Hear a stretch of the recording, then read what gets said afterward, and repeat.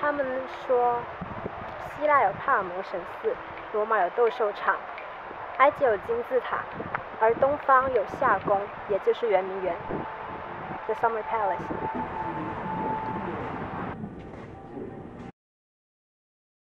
现在真的是什么都特别方便。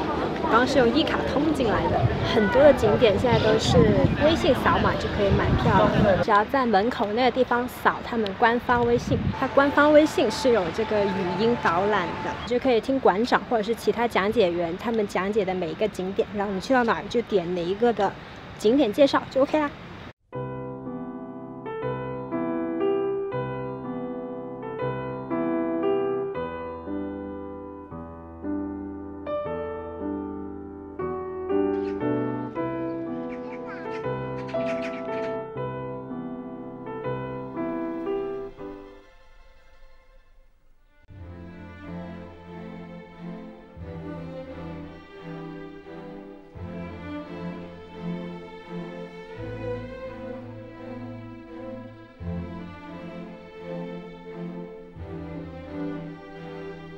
最多的话就是说，哇，如果这些没有被烧毁，没有被这样子砸烂的话，那得要多壮观！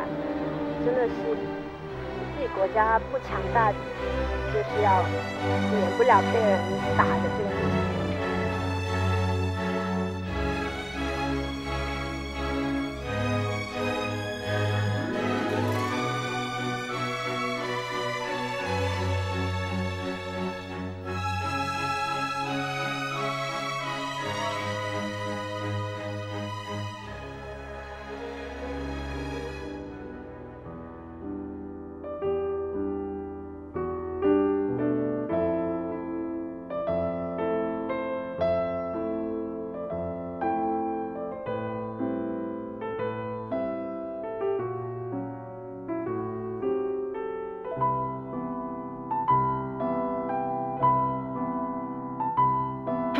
我们现在来到这个地方叫做迷宫，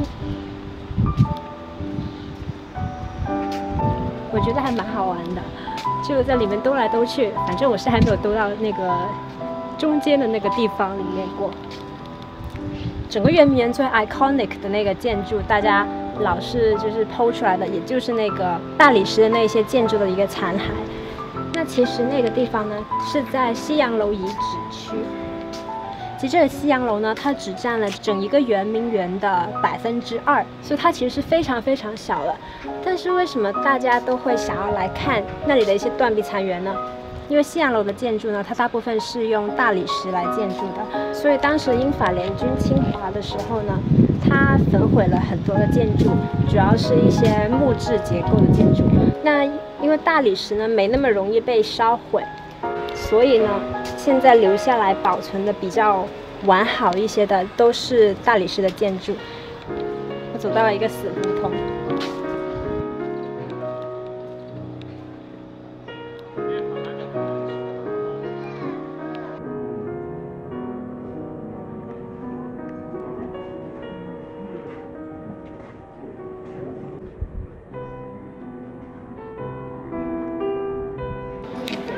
这里有一个像爱丽丝的后花园一样的小庭院。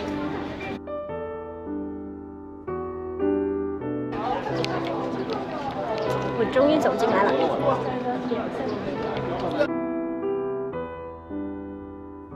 咱们看到这几柱石头呢，是以前皇帝给香妃去祭拜的时候用的一个礼堂。那因为香妃呢是伊斯兰教，所以他就给他建了这一座，用来祭祀、用来呃做礼拜用的，叫方罐方正罐。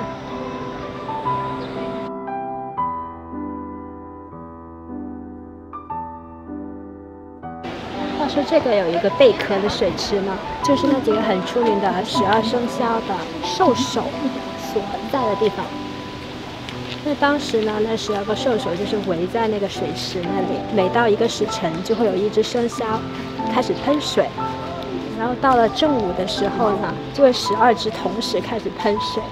我不知道他们是怎么做到不知道是怎么样的科技。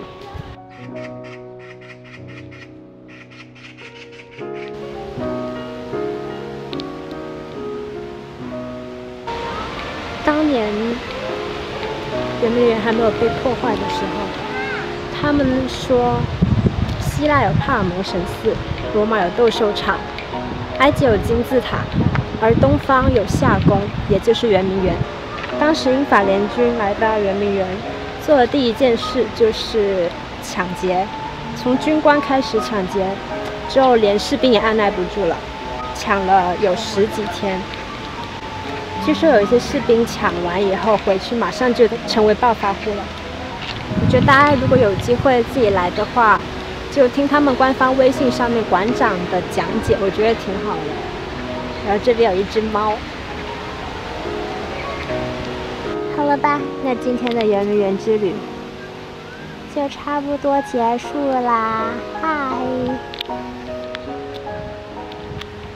喵喵。那，拜拜吧，拜拜。